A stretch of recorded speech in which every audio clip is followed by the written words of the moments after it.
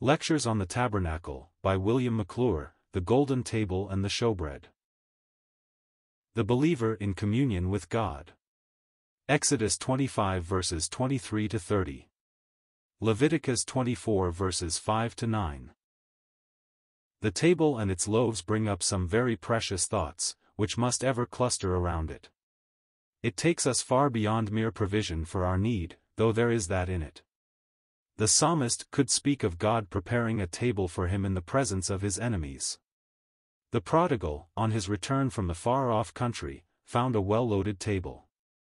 And in the type we have here, it is very precious to consider, all the work of Christ which has been set before us on past evenings as leading up to, and into a place in which we find a table. Yet the thought here is not so much that our need has been provided for, as that grace has lifted us into a place of wondrous privilege. In the table in the holy place we have the saints in fellowship with God, as sinners saved by His grace. The thought would be enough, did we fully apprehend it, to fill our hearts with continual praise. Well might we ask, how can it be? The table here supplies the answer. It is Christ before God sustaining his people in the enjoyment of this unspeakable privilege.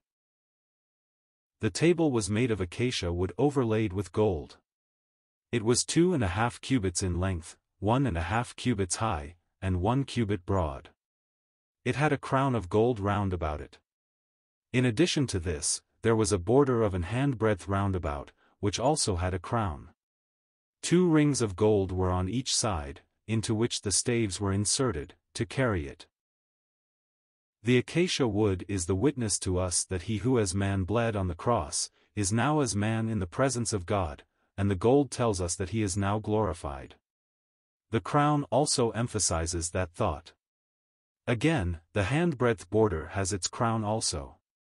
We think of the hands once pierced upon the tree, now upon the throne and soon to sway the scepter of earth's sovereignty. We cannot well speak of a table apart from the food which is upon it. So as we speak of the shewbread, we will still be dealing with the table. The shewbread, Leviticus 24 verses 5 to 9. Speaking of the loaves of shewbread, I would first speak of the other places where loaves are mentioned, and this, because there is a very close connection as to the truth taught. So we shall speak of one loaf, two loaves, and twelve loaves. First, I desire to say that the loaves in their primary application set forth Christ. For seven days they were before God, emitting a gracious odor of frankincense. Then on a Sabbath day they were removed, fresh loaves were put there, and the priests fed upon those they had removed. These loaves on the table for seven days, tell us of the infinite delight which God had in a past eternity in his Son. But just as he will share with those priests that bread, so will he share with man that one who ever gave his heart such unbounded joy. We may hear, and in this connection, read a portion of 1 John 1 verses 1 to 4. That which was from the beginning, which we have heard, which we have seen with our eyes, which we have looked upon and our hands have handled, of the word of life. For the life was manifested, and we have seen it, and bear witness, and shew unto you that eternal life, which was with the Father, and was manifested unto us. That which we have seen and heard declare we unto you, that ye also may have fellowship with us, and truly our fellowship is with the Father, and with his Son Jesus Christ. And these things write we unto you, that your joy may be full. Do we need to say aught about this passage? Here we have Christ in the bosom of the Father in the eternal past. Who can tell the deep joy that the heart of the Father had in that Son? But others must share in that joy, hence all the story of love, the Father giving up his Son, the Son stooping to become a man. As we think of these loaves, they bring before us the way in which Christ met the deep need of our souls. Each loaf told out the sufferings which he must endure, ere a sinner could feed upon him as the bread of life. First, there must be the death of the wheat. So we read in John 12 verse 24, Except a corn of wheat fall into the ground and die, it abideth alone. Second, the wheat must be ground between the upper and nether millstones. Isaiah 28 verse 28, bread corn is bruised.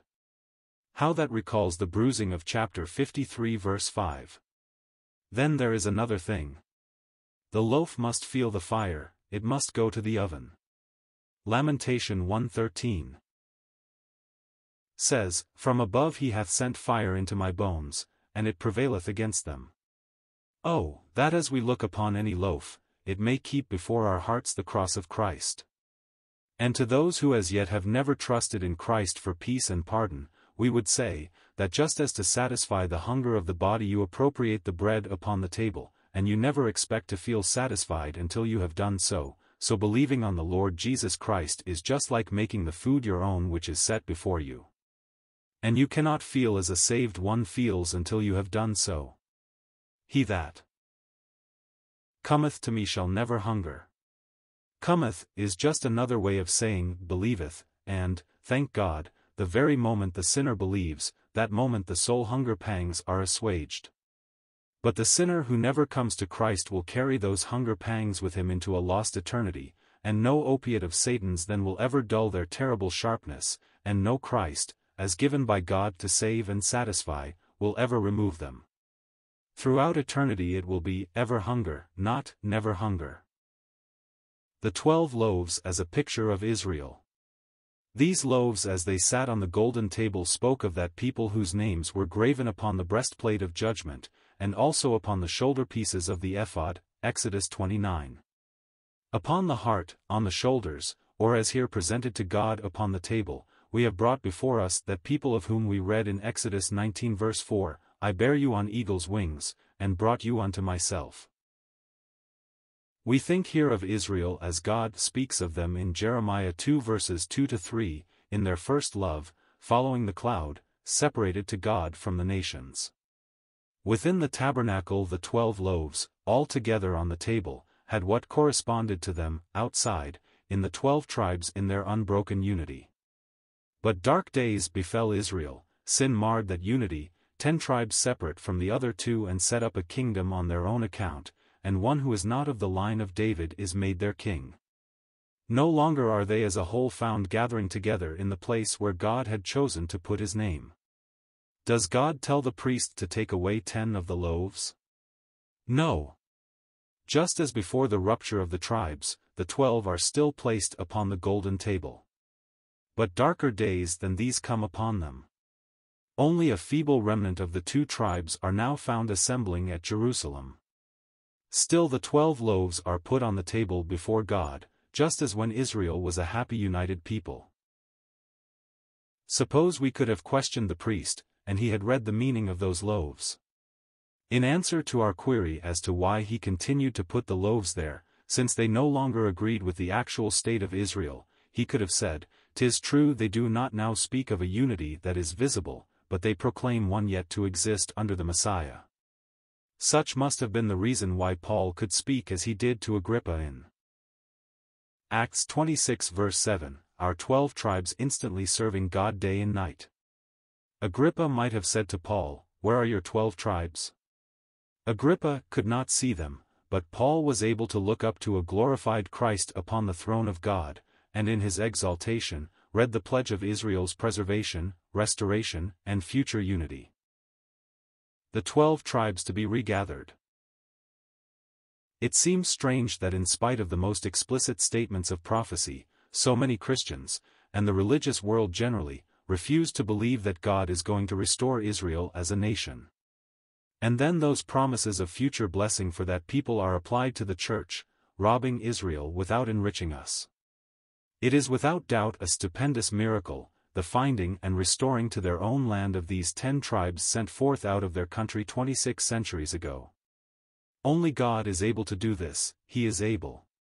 For 18 centuries He has preserved the two tribes as separate and distinct from the nations among whom they have been wanderers, as the day they were cast out of the land.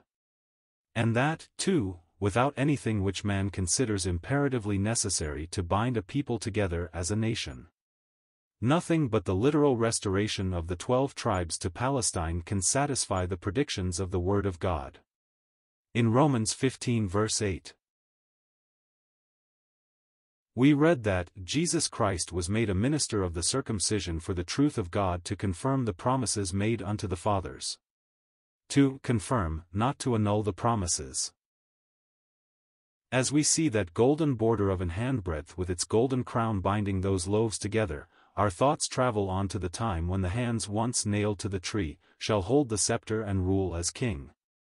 Then the words of Ezekiel 37 verse 22 will be fulfilled, and I will make them one nation in the land upon the mountains of Israel, and one king shall be king to them all, and they shall be no more two nations, neither shall they be divided into two kingdoms any more at all. In making an application of the twelve loaves to the church, which we believe we are justified in doing, I would like to bring in other loaves named in the Word, which we believe will help us. These are found in 1 Corinthians 10, and in Leviticus 23. We might put it this way, one loaf, unity, or, the church as one with Christ in life. Two loaves, testimony, or, the church as God's witness here on earth. Twelve loaves, government, or, the Church reigning in association with Christ. The unity of the Church. One loaf. Dot, in 1 Corinthians 11, the loaf is an emblem of the body of our Lord Jesus, while in chapter 10 it is used to set forth the body of which he is head. Verse 17, For we being many are one bread, loaf, and one body, for we are all partakers of that one bread. We, are many, just like the wheat in the loaf. But just as the wheat in the loaf became merged in one loaf through the baking, so on the ground of the cross work of Christ, and by the Spirit baptism into one body, all believers are now one body. In those early days, the one loaf upon the table corresponded with the state of things seen in the church. There were no sects or parties ranged openly against each other. No need for asking, as is so common now, what body do you belong to? The thought had not entered into the minds of believers then, that there should be more than one body for one head. It is strange that even now, the thing should ever occur to a true believer. But just as with Israel, that once manifested unity of early days is no longer to be seen, in its place we have well-nigh numberless sections. In many of them are to be found the members of the one body of Christ. So when we are gathered around our blessed Lord, to keep the remembrance feast, till he come, we love to look at the loaf and ponder on its teaching on this line. We may be few in numbers, others who, if they were subject to the Spirit's leading, would be there, are scattered among different sects, but the one loaf still tells it will not be always so. Ah! No, thank God, the work of Calvary and Christ's prayer of John 17, are to have their glorious answer in the manifested oneness of the Church, and to us that one loaf is the pledge of this. We think upon the change of the emblem from one loaf to little dice-like squares, which in early years we were familiar with, as exceedingly suggestive of the broken-up condition of that which ought to be one. Men, instead of feeling the shame of that broken-up condition, seem to have accepted it as the proper thing. The Testimony of the Church Two loaves. In Leviticus chapter 23, we get the feast of Pentecost, when these two loaves were offered. There is only one thing in all the works of God to which this feast can be applied, and that is the Church. The Church's birthday was the day of Pentecost. In verse 17 we read, Ye shall bring out of your habitation two wave loaves of two tenth deals, they shall be of fine flour, they shall be baken with leaven, they are the first fruits unto the Lord. Notice, we have two loaves. Here we see what we find in Ephesians 2 verses 14 to 15, and 3 colon 5 6. Jew and Gentile in one body. Never in the past, nor in the millennium, will Gentiles be on an equality with the Jew. No, only in the Church of God is this picture realized. Then we have a most significant bringing together of numbers in the words, two-tenth deals. Before, we have pointed out that 2 is the number of testimony, and that 10 is the number of responsibility. Just apply the thoughts here and I believe we have read the meaning correctly. The church was responsible to be a testimony for Christ, but alas, what a failure it has been, and in the words, baken with leaven, we see the cause of that failure. how soon the flesh made itself manifest. In Acts 5 we get Ananias and Sapphira lying to God, and seeking to maintain the reputation for a wholeheartedness they did not possess. Murmuring, in chapter 6 and what a sorrowful picture we get in the Corinthian church. We see in embryo the sects and parties of the present day, with what has ever accompanied such work, a carnal state unfitting the soul for the reception of the mind of God. The governmental completeness of the Church. Twelve loaves. 12 is the governmental number. It is 3 times 4. 3 giving us the number of God, our triune God, Father, Son, and Holy Spirit, 4, the number of the creature. It is God governing through his people. It matters not whether we think of earth or heaven, we see this to be his order. On earth, it will be through Israel, in the higher sphere, the heavenly Jerusalem, it will be through the heavenly saints in association with Christ. Were it not that the Word of God leaves us in no doubt as to the destiny of the Church, it would be most daring presumption on the part of poor sinners to look up to such a future. But for this very future he saved us, through his death on the tree, and to keep us and bring us safely into the enjoyment of all that glory, he is now on the throne. And to us that handbreadth border with its crown of gold, has its ministry of encouragement and joy which is not less sweet because of its application also to Israel. Thank God, in spite of the failure of the people of God, and the rage of Satan, the Lord Jesus will yet have with him in the glory the church for which he died.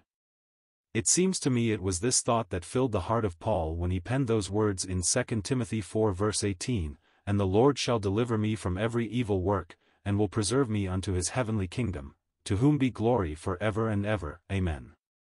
Things around that dear man of God were depressing in the extreme. The enemy was active, many who should have been quick to give the word of cheer had turned away from him. He must have felt he was no longer desirable to them. But in the midst of it all he is able, if I may put it thus, to look up and see Christ sustaining him before the Father in all the acceptableness of his own blessed person and work. So that like the loaves, which emitted a fragrance in the holy place, he gave joy to the heart of God. And not only that, he is being preserved to the heavenly kingdom. His master had trod the path before him, and he is now on the Father's throne, but the time is coming when he will sit on his own throne, and to that time Paul looks on, knowing he is in the hands of a glorified Lord. We have said that 12 is the governmental number, a few uses of it will make this clear. The people through whom God will govern this world in the coming day, Israel, is the 12-tribed nation. When God would set in the church competent authority, he gave 12 apostles. In the brief glimpse we get in Revelation 21 and 22 of the heavenly Jerusalem, which is called the bride the Lamb's wife, we get no less than eight twelves. Here then, we have the new creation number, 8, joined with the governmental number, 12. One of these twelves are the twelve gates. The gate was the place of judgment or rule. In the book of Ezekiel, chapter 48, we read that the Jerusalem in Palestine, in the millennium, will also have twelve gates. It is to be the lower, or earthly capital, but the Jerusalem of Revelation 21 and 22 is the higher, or heavenly capital. In and through the church, Christ will rule and bless creation. In the aspect of the future glory of the church which is presented in the city, the saints of past ages are associated with her, as we learn from Hebrews 11 verse 10, and 12 22-24. But it is especially the church which is before us, the church reigning with Christ. Babylon is called that great city which reigneth over the kings of the earth. Revelation 17 verse 18.